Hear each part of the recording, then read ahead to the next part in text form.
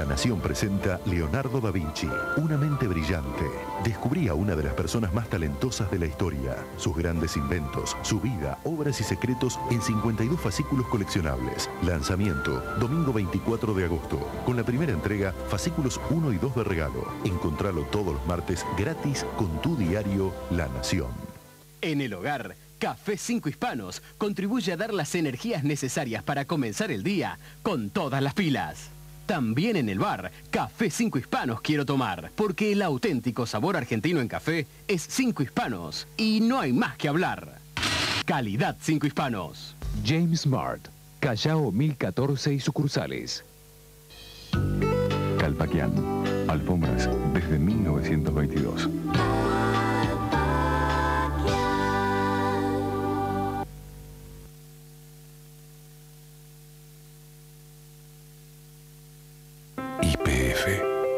Inventemos el futuro.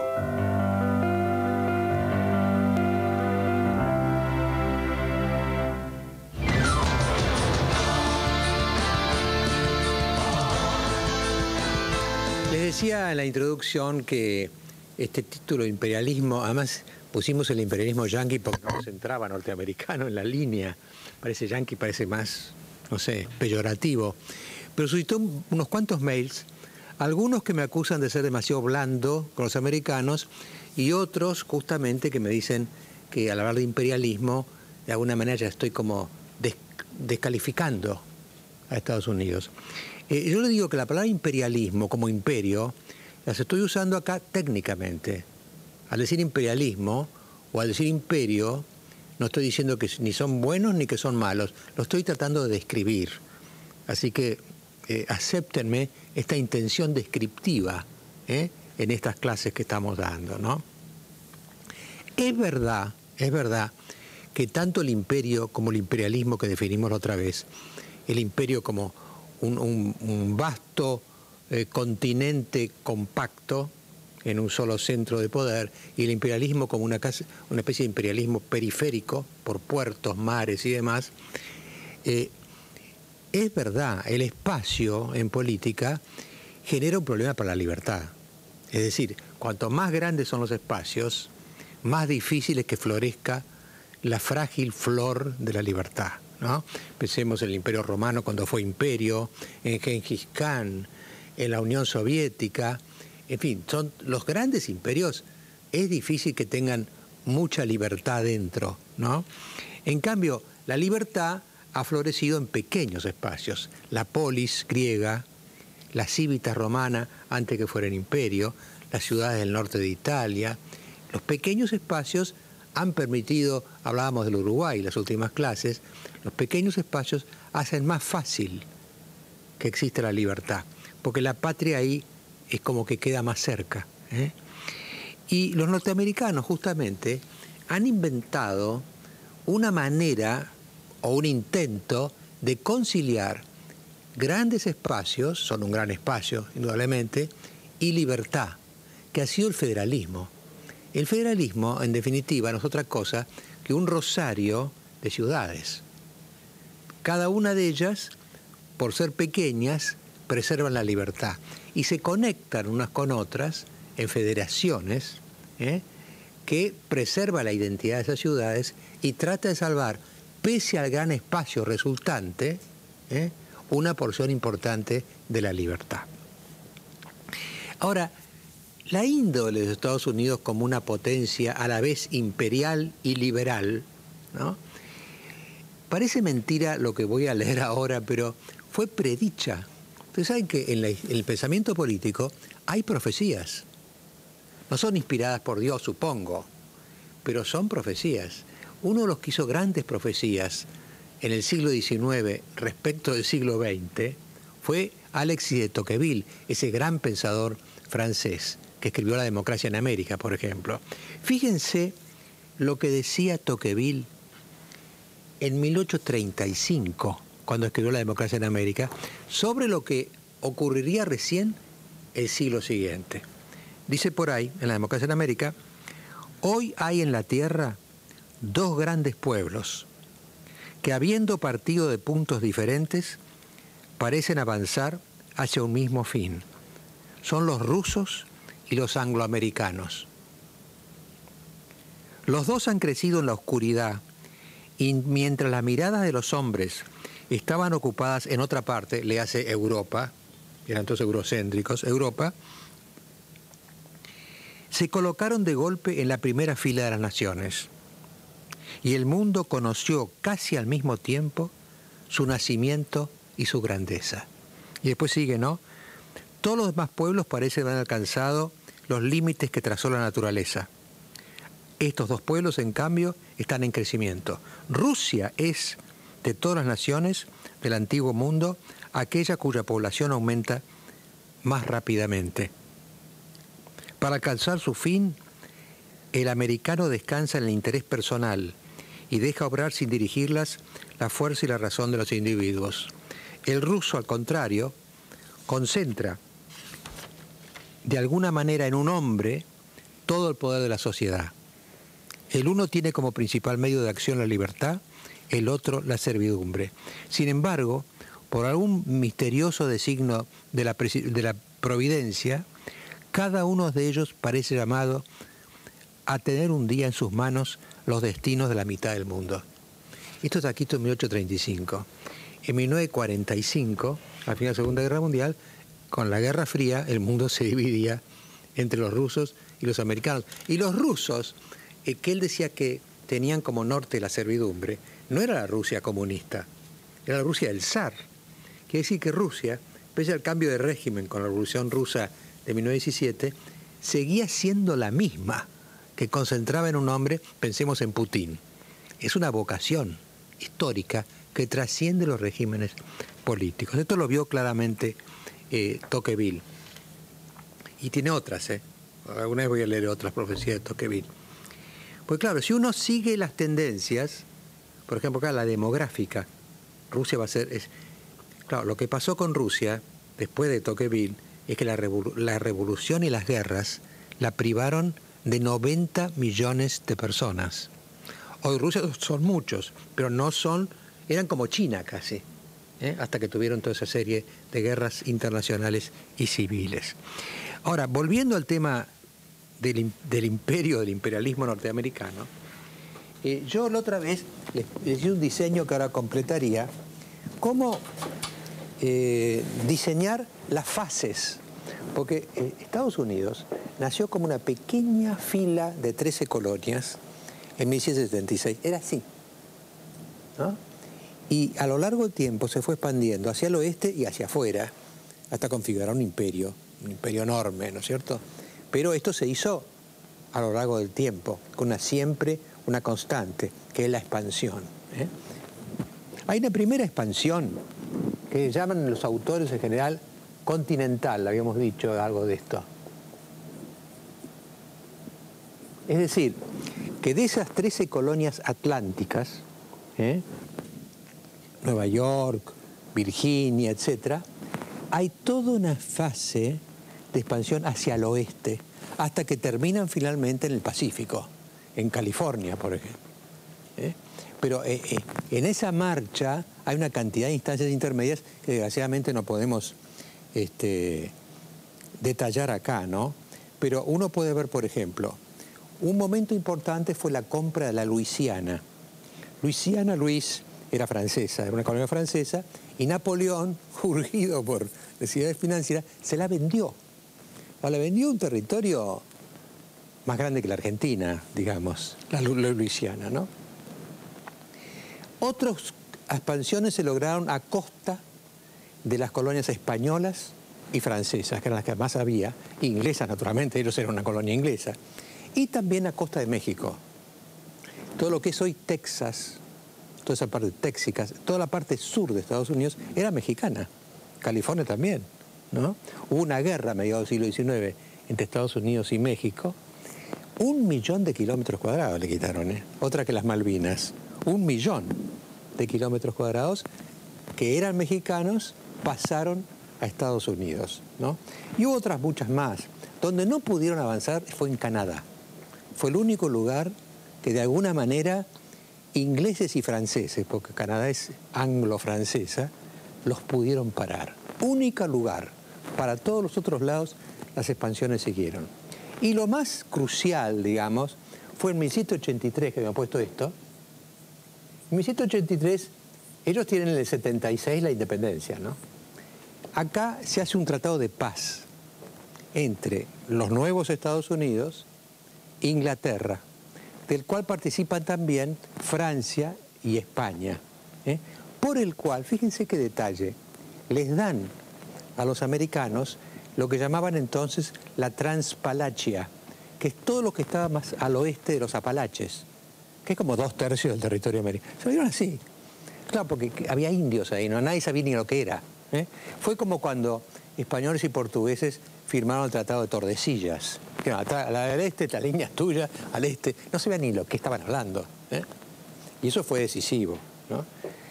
Más o menos en 1850 se completa la expansión continental de los Estados Unidos.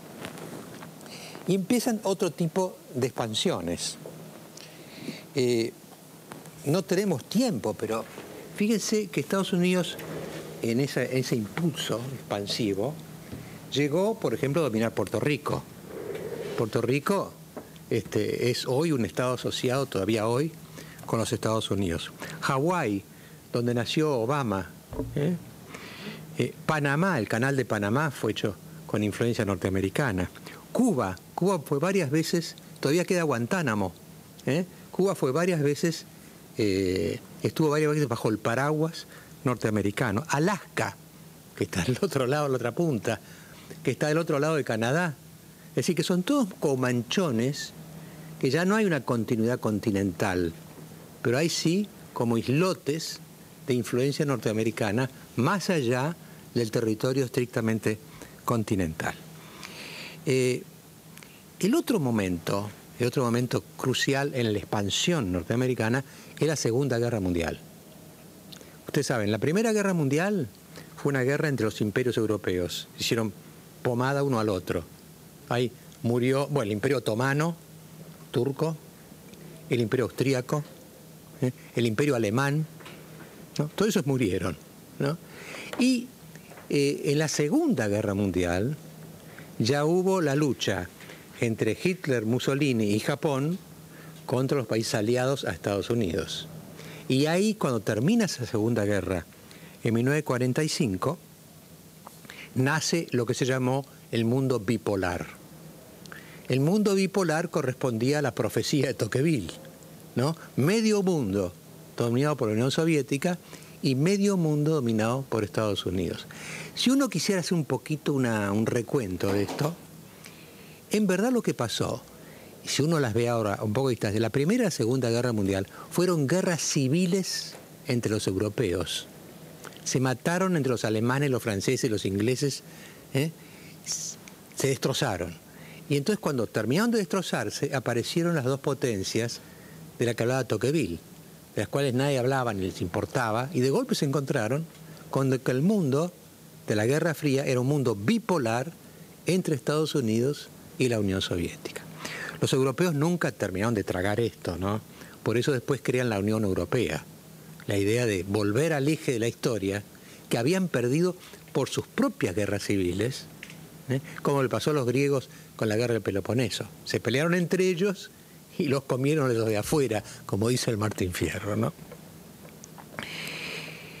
Este mundo bipolar, eh, eh, digamos, lo que fue la maravilla de la Guerra Fría. Guerra Fría.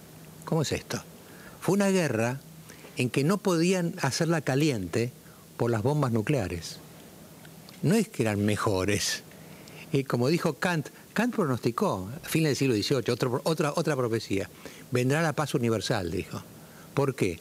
Porque los hombres son tan perversos que van a crear armas de destrucción de tal alcance que no las van a poder usar. Y fue tal cual lo que pasó. La Guerra Fría fue fría porque no podían darse el lujo de aniquilar la humanidad. En 1989 se cae el muro de Berlín, implosiona la Unión Soviética, sí, se cae para adentro ¿eh? y queda solo los Estados Unidos. Así que de 1989 hasta hoy, 20 años, estamos viviendo un mundo unipolar. que hay una sola potencia imperial, digamos, ¿no? Acá yo querría citar una frase que a veces cito de un científico político ruso que se llama Arbatov, tipo muy genial. Y él cuando, terminó la Guerra Fría y perdió la Unión Soviética, ustedes recuerdan Gorbachev, todas esas cosas, es que un artículo en Foreign Affairs en que decía, dirigido a los americanos, ¿no? Y que les dice, Arbatov les dice,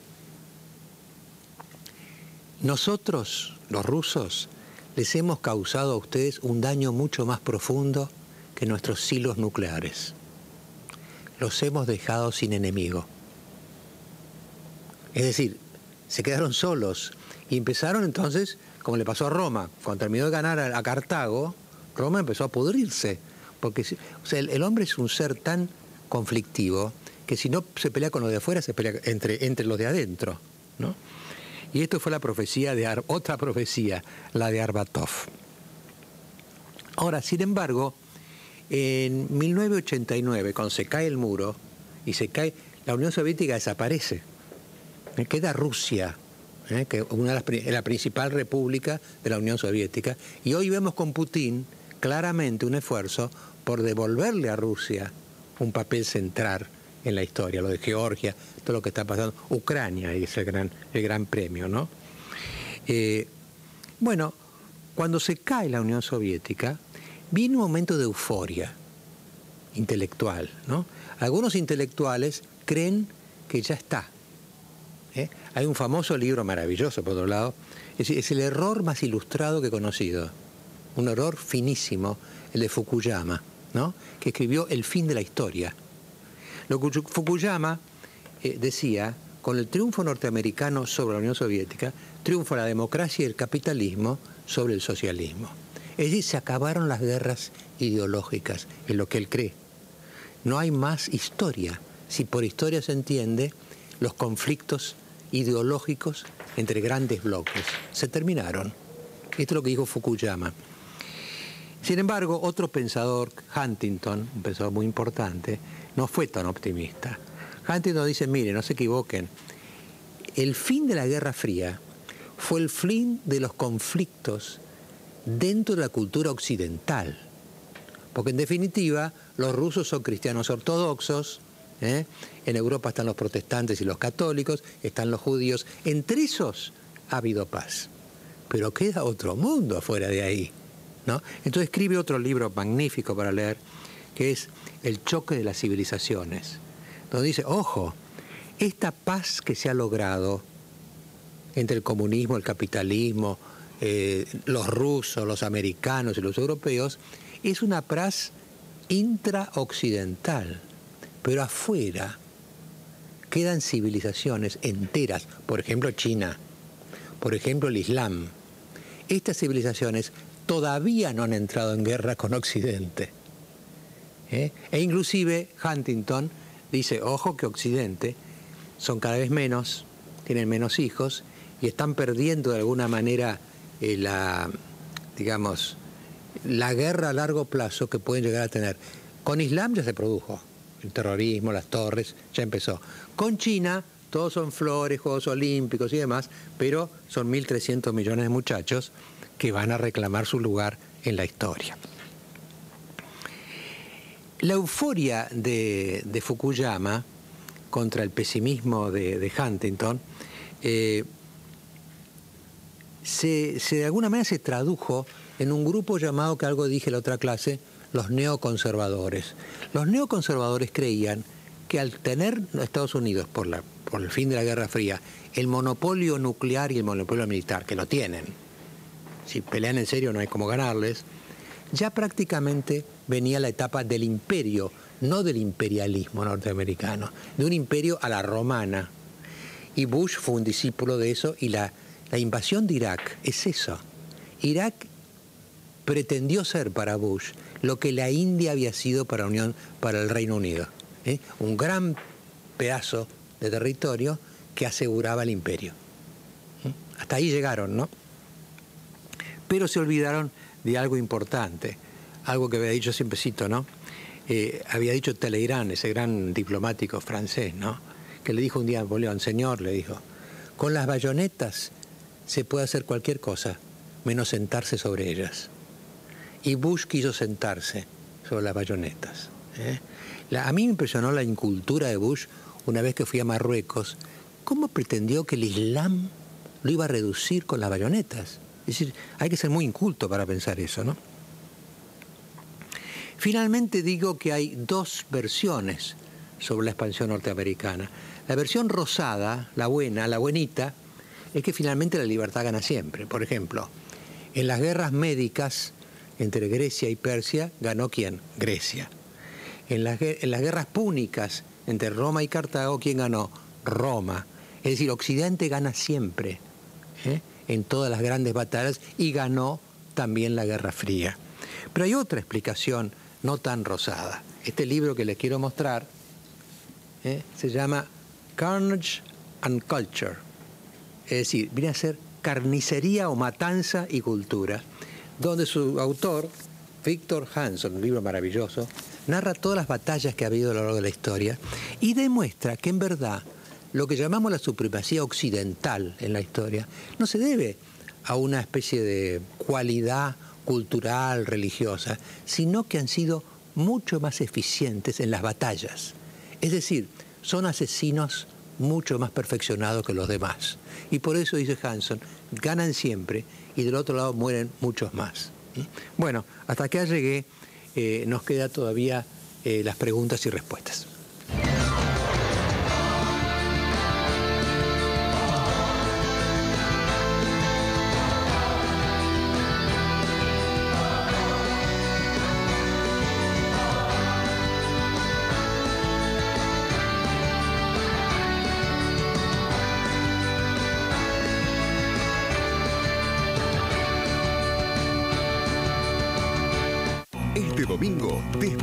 Temprano, exclusivo de C5N en vivo.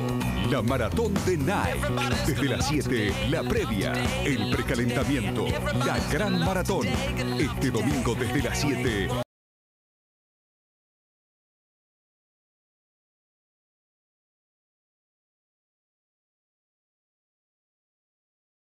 C5N.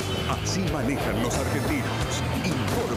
Multas, choques, vuelcos. Los que no respetan la ley. Así manejan los argentinos. Informe especial. Este lunes por C5N. Registre a sus trabajadores, protéjalos de los accidentes de trabajo, evite sanciones y reclamos judiciales. Mejor para el trabajador, mejor para la empresa, mejor para el país. Superintendencia de Riesgos del Trabajo, del Ministerio de Trabajo, Empleo y Seguridad Social de la Nación.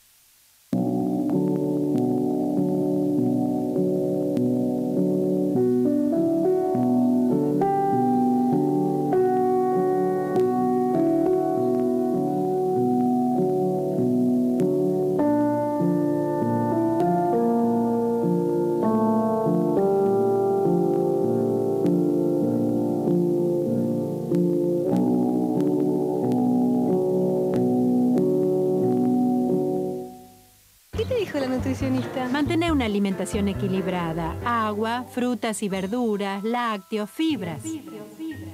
¿Pero cómo hago? El nuevo Ser Fibra Mix te ayuda. Una exclusiva combinación de centeno, salvado de trigo y avena con riquísimas frutillas y yogur 0%. Nuevo Ser Fibra Mix Frutilla. Próbalo. Mi secreto para verme más joven es el nuevo Olay Total Effects, que combate no solo arrugas y líneas de expresión, sino siete signos del envejecimiento como ningún otro producto tener una piel increíble ya no es imposible. Con el nuevo Olay Total Effects. Olay, ama tu piel. Listo para conseguir tres veces más caricias. Presto Barba 3. Tres hojas con una banda lubricante mejorada para la afeitada más suave y con menos irritación de Presto Barba. Este plasma vino con sonido envolvente. Envolvente como yo. Multiplica tu seducción por tres y elegí lo que te falta porque actitud te sobra. Participa por uno de los tres kits seducción. Busca el código en el sticker y envíalo por mensaje de texto o internet. Además hay 10 kits de productos por día.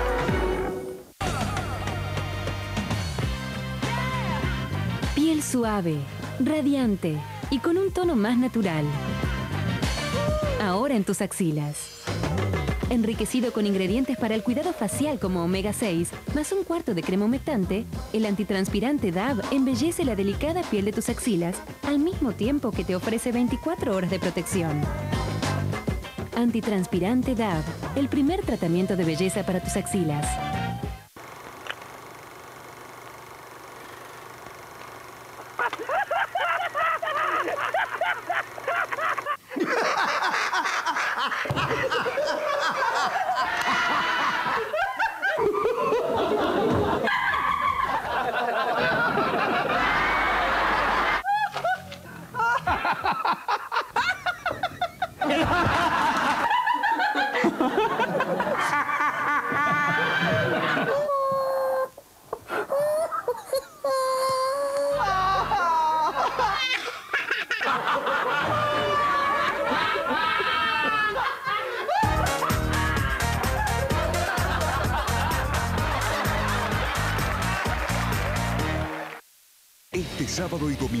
0.30 en Leyendas del Rugby, reportaje a un grande. Habla Jonas Lobu, la primera superestrella del rugby mundial, figura de mundiales de 1995 y 1999. the way I see it is that I'm issuing a challenge when I'm doing it. So I issue a challenge to whoever they are, and then I say, Lobu en C5N, en Leyendas del Rugby, este sábado y domingo desde las 0.30 por C5N. Este lunes en Mañanas Argentinas, desde las 6.50, Graci habla en el juicio. El Indiecito Solari, el sueño de San Lorenzo. Las últimas horas del juez esquiavo, el triple crimen. La mafia sigue impune. Polémica con Luis Miguel y Ricky Martin. Los padres modernos. Este lunes en Mañanas Argentinas, desde las 6.50 por C5N.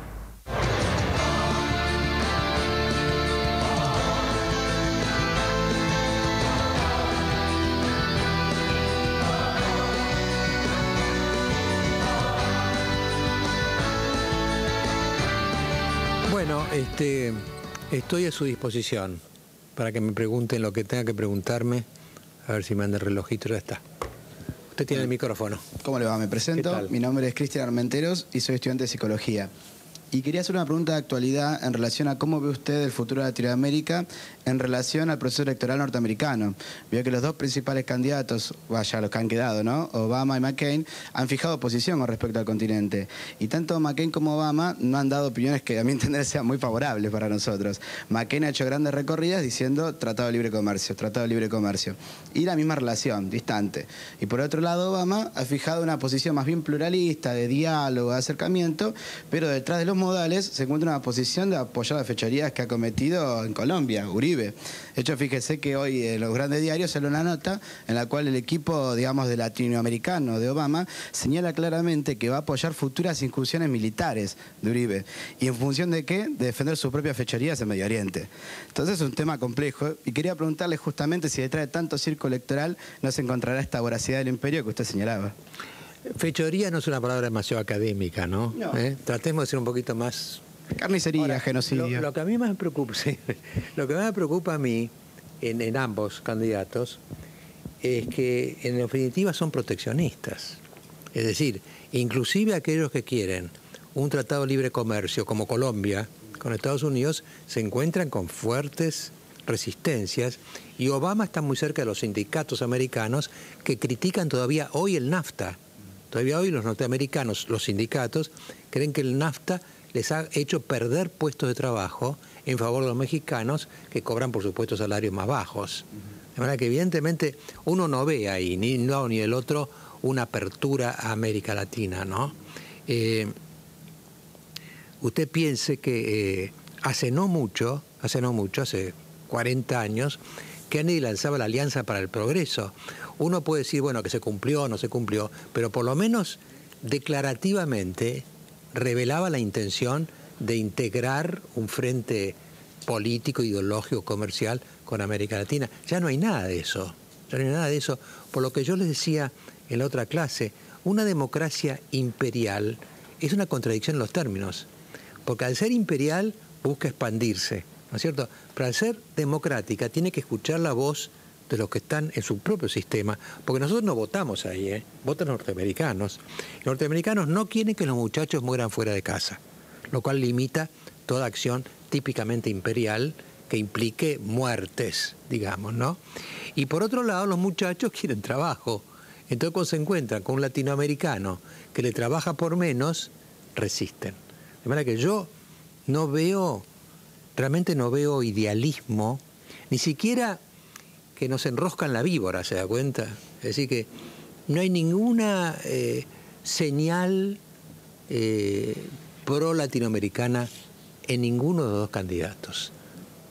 Su pregunta. ¿Qué tal? Buenas noches, doctor.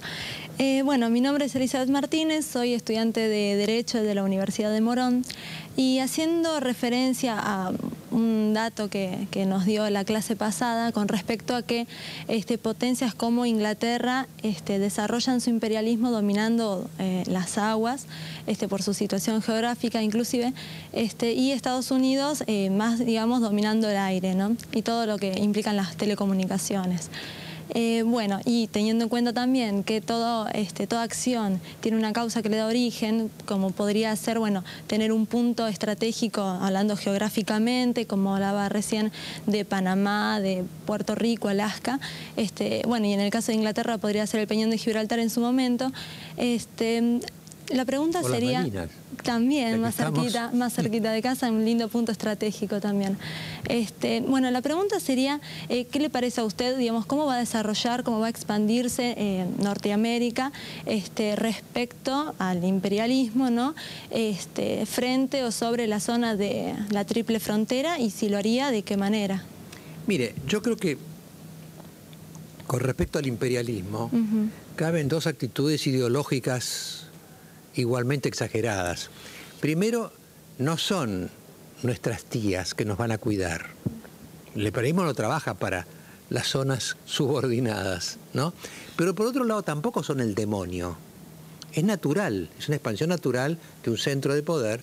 Entonces, frente a esa expansión natural, las naciones que no forman parte de ese, de ese círculo imperial tienen básicamente dos opciones. ¿no? Una opción es resistirlo que es la posición de, Fidel Castro, Che Guevara, hoy en día de Chávez. Es decir, luchamos heroicamente contra el imperio. Somos antiimperialistas. Es una alternativa. La otra alternativa es aprovecharlo. Por ejemplo, Estados Unidos, es muy interesante la historia de Estados Unidos respecto a Inglaterra. Cuando Inglaterra era el imperio, siglo XIX, ¿no? Estados Unidos no hizo antiimperialismo. Aprovechó el paraguas y creció adentro es la otra estrategia. Yo creo que Brasil está haciendo eso, claramente. Brasil no confronta, ¿eh? pero aprovecha, ¿no es cierto? Nosotros hemos tenido actitudes como, me parece que a veces resistentes, heroicas, y otras ingenuas, porque es creer que, nos quieren. ¿Sabe qué? No nos quieren, pero tampoco nos odian. ¿eh? Ellos van a hacer lo que les conviene. Entonces, tendríamos que decidir qué nos conviene. La, Argentina con Gran Bretaña fue claramente como Brasil es hoy con Estados Unidos. Lo aprovechó. Vivió bajo el paraguas, creció el comercio, todo brutalmente, pero el paraguas inglés se acabó con la Segunda Guerra. Y, llegaron los americanos. Y ahí cuando llegan los americanos, nosotros no sabemos todavía bien a qué atenernos. Yo creo que tenemos una duda existencial. Si los resistimos, los aprovechamos o esperamos ingenuamente que nos beneficien por nuestra linda cara, ¿no? Esto es un poco el dilema eh, casi existencial de la Argentina, ¿no? Otros países están claramente definidos. Colombia, evidentemente, se puso bajo el paraguas, Chávez combate, ¿eh? creo que México como Brasil se ponen bajo el paraguas, porque el NAFTA es eso, es la manera de entrar. Y los países que han tenido grandes progresos económicos es porque han aprovechado el mercado norteamericano. El mercado norteamericano es el 40% del mercado mundial.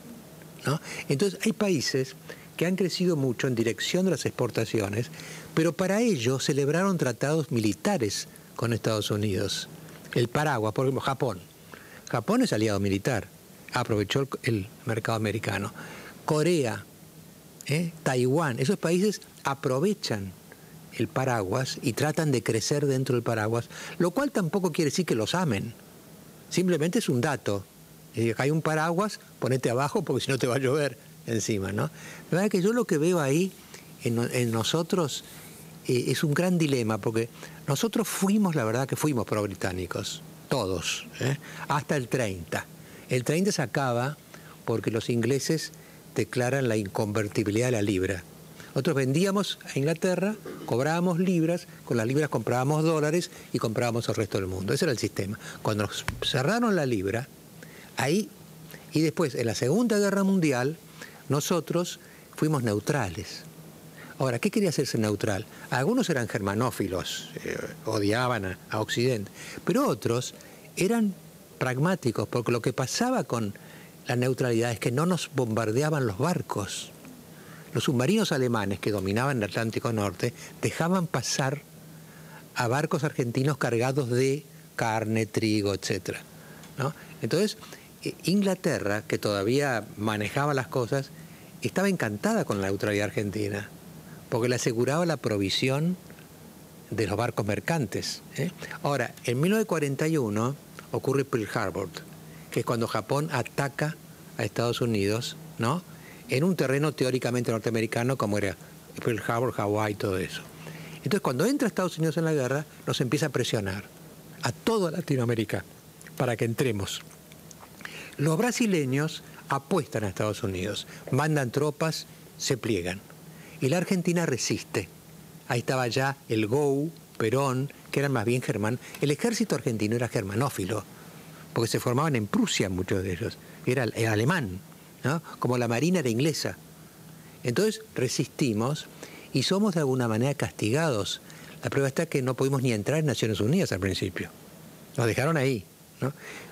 porque nos costó mucho asimilar la, idea de que el nuevo imperio es americano. Nosotros no, terminamos de... ¿eh? Hemos tenido una guerra con la NATO hace poco. No, no terminamos de... cambio, los brasileños, mucho más pragmáticos, mucho más portugueses, ¿eh? dijeron, muchachos, el paraguas, cambió el paraguas, pongámonos debajo. Y Brasil empezó a crecer fenomenalmente a partir de ahí y nos desplazó como lo que éramos, porque hasta la Segunda Guerra Mundial la Argentina era de lejos la principal potencia latinoamericana. Así que fíjese qué importante es cómo se ubica un país en el mundo. ¿eh? Y generalmente tiene que ubicarse más en función de la realidad que en función de las preferencias. ¿no? Este, con Inglaterra había preferencias porque la Argentina es europea. Entonces, nosotros con los italianos, con los ingleses, con los alemanes, con los franceses, con los españoles tenemos con naturalidad, ¿no? Americanos son sentidos como un cuerpo extraño, ¿no? Son raros. Eh, uno no, los entiende bien, son algo ajeno. Y nos ha costado mucho más salir del regazo europeo y eh, pasar a este tipo de estrategia brasileña con Estados Unidos. Por otro lado, Europa misma cambió. La Europa anterior a la Segunda Guerra Mundial era expansiva. Estaba Inglaterra, las colonias francesas, las colonias alemanas. Cuando después de la Segunda Guerra ven que perdieron el eje de la historia, que pasó, como había predicho Tocqueville, a Estados Unidos o a, la, Unión Soviética, y se centran sobre ellos. Se hacen proteccionistas, crean un espacio, fíjense la política agrícola, ¿eh? ¿Por qué tienen la política agrícola? Porque durante la Segunda Guerra dependían de nosotros para comer. Y no querían tener esa, horrible dependencia para comer. Nosotros no sabemos lo que es eso. Pero saber que si a uno le cortan una línea, se mueren de hambre. Entonces, hacen agricultura carísima, terriblemente ineficiente, pero se aseguran su autoabastecimiento. Entonces, cambia Europa también. Entonces, nos abandonaron. Ellos, los argentinos, se sintieron durante varias décadas, ya no, ya somos más latinoamericanos hoy, pero varias décadas como expulsados del paraíso europeo y teniendo que convivir con los latinoamericanos a quienes consideramos primos segundos de dudosa legitimidad, ¿no? Buenas noches, doctor. Mi nombre es Juan Gabriel Cristante, estudio la licenciatura en Ciencia Política en la Universidad de Grano. Mi pregunta se va a situar en el año 1823 con la famosa frase América para los americanos. Tengo que decir que la misma surgió para anunciarle a las potencias europeas que no se iba a tolerar su intromisión en lo que eran los países de América Latina, más precisamente los que estaban en un proceso de independencia. Ahora mi pregunta que va a hacer hincapié es, ¿no cree usted que esto fue una pantalla de, de los norteamericanos, o sea, de Estados Unidos, para ocultar sus intereses económicos y soberanos cuando están en un pleno proceso de expansión como país? Bueno, esa es la famosa doctrina Monroe. Monroe fue un presidente americano y cuando Monroe dijo eso, Sáenz Peña acá dijo América para la humanidad. Fue la otra frase. ¿sí? América para los americanos. Las dos frases eran falsas. América para los americanos quería decir América para los norteamericanos. Y América para la humanidad quería decir América para los europeos. Eh, eh, América no estaba en condiciones de sentirse el eje de la historia, pero tenía que optar. ¿Eh? Entonces, esa élite conservadora nuestra era pro-europea, claramente. ¿no? Este, los argentinos casi siempre fueron antiamericanos, el peronismo fue antiamericano también, ¿no? Es decir, hay una tradición argentina mucho más ligada a Europa que a Estados Unidos, ¿no? Y Monroy, claramente, eh, no, no tuve tiempo de explicarlo, pero había una cantidad de presidentes, Teodoro Roosevelt, por ejemplo, Monroy, que ya tenían en claro lo que ellos llamaban el destino manifiesto. Es decir, la idea era una de Jefferson, que cité la clase anterior, que América podía ser o inaugurar algo absolutamente nuevo en la historia, el imperio de la libertad. Ellos siempre han dicho estamos luchando por la libertad, en todas las guerras, siempre, ¿eh? la lucha por la libertad. Vamos a constituir el primer imperio de la libertad. Ahora, ¿qué pasa? Que el imperio de la libertad son dos palabras contradictorias, porque imperio quiere decir dominación militar de un espacio que ha sido vencido. La palabra provincia quiere decir lo mismo, provincere, que fueron vencidos. ¿eh? Y libertad quiere decir justamente que no tengo arriba ningún imperio. ¿no? Ahora, esa dualidad no ha dejado de existir nunca en la propia historia norteamericana. Ha habido muy tipos muy liberales, como Paul Kennedy, por ejemplo, no John, Paul Kennedy, que más bien eh, critican, este libro que yo les traje la otra vez, critican el imperialismo Y otros no, que son francamente imperialistas. Y hay pensadores intermedios, que yo creo que es bueno mencionar ahora, como Henry Kissinger, y Zacarías, que también mencionamos en otras clases anteriores, que dicen, no, acá el tema es este, no tenemos que ser ni imperio en el sentido clásico de la palabra, ni igual que los otros, porque no somos igual que los otros. Entonces la idea es que el mundo se constituya en una especie de directorio de naciones. ¿no? El presidente del directorio es norteamericano, pero hay otros miembros del directorio, por ejemplo la Unión Europea, por ejemplo China, por ejemplo Brasil, ¿eh? por ejemplo la India. Entonces la idea de que haya un directorio ¿eh? y los americanos tomarían la presidencia del directorio, que es como los ingleses manejaron el siglo XIX. En el siglo XIX los ingleses tenían colonias y todo, pero no invadían Europa. ¿eh? Con los europeos tenían como un directorio. Entonces estaban los alemanes, estaban los franceses, estaban los austríacos, los rusos. Y entonces eh, Inglaterra lo que hacía era asegurar el equilibrio. Cuando alguno se pasaba, se ponía con el otro. Y así iba asegurando el equilibrio y mantenía como el liderazgo de ese mundo europeo. ¿eh? Entonces Kissinger, que es un europeo, es alemán además Kissinger, eh, piensa que se podría llegar a un orden mundial nuevo, con un nuevo directorio, pero esta vez planetario, no, no solamente europeo, donde estén China, la India, Europa, la Unión Europea, ¿eh? Japón, ¿no? Este, y, Brasil. Siete, ocho naciones en torno de una mesa, ¿eh? este, presididos por un presidente más que un emperador, diríamos, que serían los Estados Unidos. Es una idea, diría yo, tremendamente atractiva para los brasileños y tremendamente depresiva para los argentinos, porque uno prefiere en el fondo, digamos, si vamos a ser un país de segundo nivel, es preferible ser segundo nivel respecto del grandote que respecto de un intermedio. Yo prefiero decir, hay un imperio bajo el cual yo estoy, que es Estados Unidos, decir, hay un subimperio bajo el cual estoy, que es Brasil. Eso me parece que para los argentinos es menos digerible todavía, ¿no? Creo que nos queda, ¿no? Sí. Buenas noches, Mariano. Mi nombre es Juan Ignacio Maquieira, curso de Ciencia Política en la Universidad Católica. mi pregunta tenía que ver con que usted habló en algún momento de la decadencia del imperio, hizo referencia a Roma, y posiblemente hoy asistimos a algunos rasgos en Estados Unidos similares a lo que pasó con Roma. A modo de ejemplo, en Roma aparece cierta decadencia, este, cuando lo que pasa es que, por ejemplo, los bárbaros que los habían posicionado a defender la frontera del imperio comienzan a formar parte del ejército y de la élite que, gobernaba de alguna manera el imperio. Hoy en Estados Unidos asistimos a algo similar, tanto por los hispanos que cada vez este, tienen más fuerza, tanto en número como en cultura. Huntington dirá, por ejemplo, que el problema de los hispanos es que no se americanizan como sí lo hacía la primera inmigración y la segunda de Estados Unidos. Este, gobernadores que no son tal vez de origen este, estadounidense. Digo, hay una serie de cosas por las cuales algunos de los rasgos que hicieron que Roma cayera, según por lo menos alguna línea de, de la historia, aparecen hoy en Estados Unidos. Entonces, mi pregunta es si por dentro de Estados Unidos empiezan a aparecer variables y si usted ve variables que pueden hacer a una este, posible decadencia del imperio. Bueno, eh, lo que hace muy difícil pronosticar esto o entenderlo es que Estados Unidos es una democracia imperial. Entonces, es un imperio, evidentemente, si quieren imperialista, pero tiene adentro tantas cosas distintas.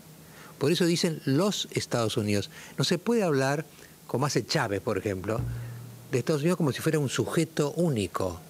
Hay de todo ahí adentro. Hay gente de izquierda, de derecha, gente del norte, del sur, hispanos, eh, todavía quedan este, anglosajones. En fin, es una mezcolanza que hace muy difícil porque al ser democráticos, este, todos se pueden expresar. Vamos a la convención demócrata estos días. Hay de todo ahí adentro. ¿eh? Hay negros, blancos, mujeres, hombres, eh, europeos, asiáticos, de todo tipo es muy difícil ver esa masa inmensa de, 300 millones de personas cómo rumbea, digamos, ¿no? En cambio, los anteriores imperios, el propio, el inglés, por ejemplo, el imperio inglés era oligárquico, no era democrático. Los ingleses en el siglo XIX no tenían voto universal, ahora tienen voto universal, ¿no? Entonces, cuando usted no tiene voto universal, usted puede mandar a los muchachos a morir fuera de casa, ¿no? de toda la épica inglesa de Kipling, ¿no? Y la carga de la brigada ligera, todo eso son eventos aristocráticos. Es decir, son gente formada en el colegio militar para pelear donde sea. Eh, eso ya en Estados Unidos es más complicado porque los que van a pelear eh, son parte del pueblo, porque es una democracia. Entonces es más difícil, ¿no? Yo no, no podría pronosticarles porque me parece que sería apresurado decir que están en decadencia, francamente, ¿no? Por, ejemplo, el dominio militar que tienen es, nunca ha habido en la historia un dominio militar como este. Lo que pasa es que no pueden usarla. Es como querer matar un mosquito con un cañón. Usted tiene un problema político no sé dónde, en, en Venezuela, y usted no va a tirarle la bomba atómica a Venezuela. Entonces al final tampoco puede controlar lo que está pasando en Venezuela. ¿no? Por debajo de la supremacía militar pasan muchas cosas que son políticas o económicas. ¿no? De modo que es muy difícil pronosticarles el futuro, ¿no? Eh, pero esa pregunta suya y la ambigüedad de mi respuesta demuestran también que todavía no sabemos bien qué hacernos con el hecho norteamericano. Los argentinos no, no entendemos bien cómo es esto. Tenemos un problema de, de identidad. No sabemos todavía si somos europeos o somos latinoamericanos. Tenemos un porcentaje de la población muy alta ya que es latina americana, latinoamericana. ¿eh? Pero tenemos otra proporción muy alta que son nietos, bisnietos de italiano, de español. Estamos como, como en formación, como identidad nacional, ¿no? Y eso nos hace más difícil todavía. Piense que la Argentina, por ejemplo, es europea, pero ¿dónde es europea? En la zona del Río de la Plata, en el litoral. En el norte somos incaicos, lo que no se reconoce. Somos mestizos en el norte y muchos del norte se vinieron a Gran Buenos Aires. Los cabecitas negras que eran.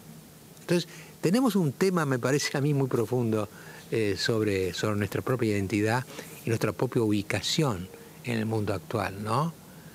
Eh, quizá también nosotros, como los americanos, estamos en, en ebullición y todavía hemos terminado de formar una identidad clara ¿eh? como tienen los japoneses, por ejemplo.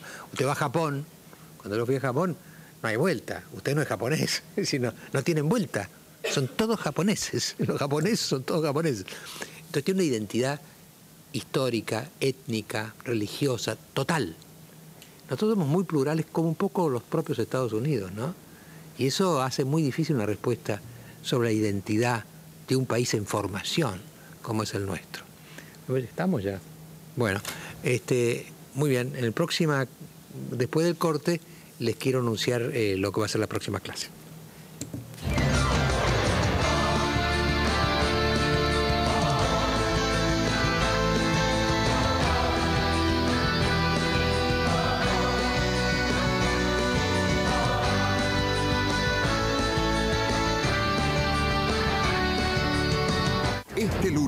En 23 minutos, el director técnico Sergio Batista con Gerardo Rosín. A las 23 por C5N. ¿Por qué Yogur Ser te ayuda a compensar? Porque es el único 0% plus, con los más ricos sabores. Ser, el placer del equilibrio.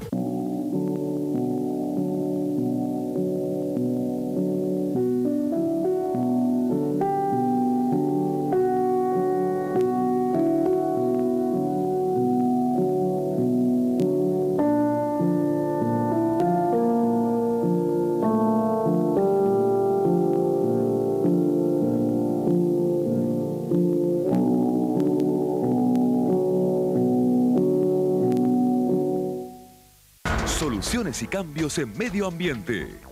Era un basural. Ahora es una plaza para todos los vecinos de Quilmes. Ahora está todo bien, tenemos un parque. Buenos Aires, la provincia. ¿Sabías que en invierno los cambios de temperatura hacen que tu cuerpo se deshidrate? Por eso elegí Villavicencio, que gracias a sus minerales esenciales hidrata y nutre cada célula de tu cuerpo para sentirte saludable y vital. Villavicencio, si el agua es mejor, tu invierno es mejor. Acá estamos en González Catán para visitar los proyectos que las madres líderes de Redinfa llevan a cabo junto a Pampers y UNICEF desde hace cuatro años para mejorar la calidad de vida de muchos chicos y de muchas mamás. El objetivo es promover el desarrollo infantil acompañando a familias con mujeres embarazadas niños para mejorar su educación, salud y nutrición. Las voluntarias transmiten a las mamás y a las familias los conocimientos de acciones básicas de cuidado. Cada vez que vos estás comprando un paquete de pañales Pampers, estás colaborando con UNICEF. Unite porque colaborar está en, en tus manos y en nuestras manos.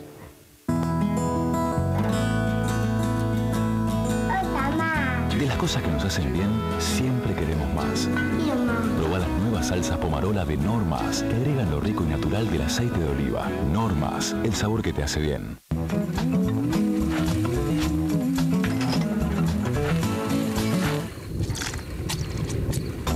Tu esponja mágica está rota. Lo mágico es esto. El nuevo Sif Active Gel en contacto con el agua forma un potente gel que mantiene cargada tu esponja el doble de tiempo.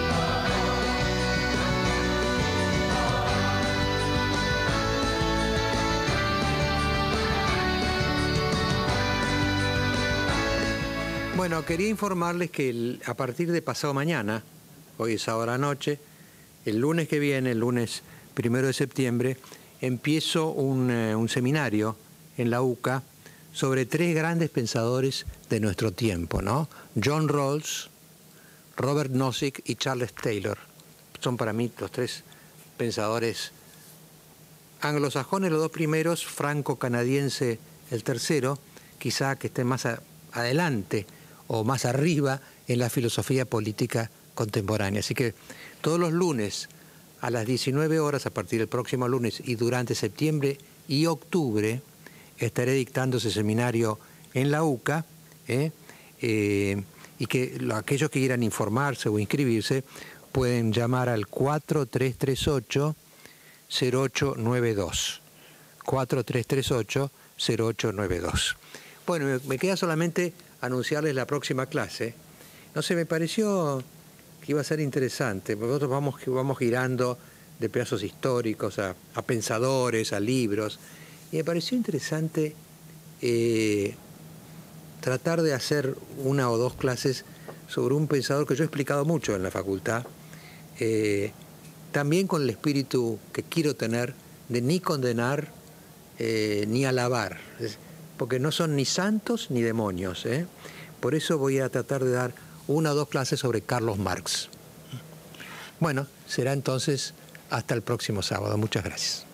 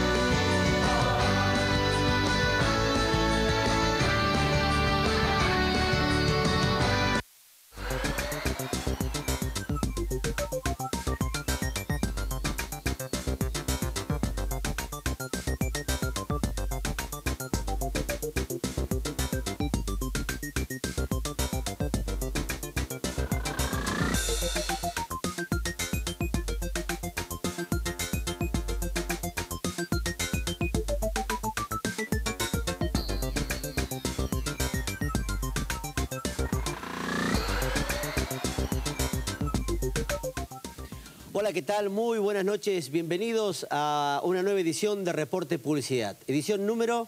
¿Hermida? No tengo ni idea, Costa. empezamos mal. Pero le calculo que debe ser 40.